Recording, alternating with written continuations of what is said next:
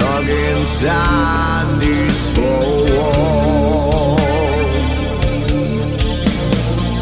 Still talking round in circles, feeling so alone. My body sits in disbelief. Doped up and comatose, I can't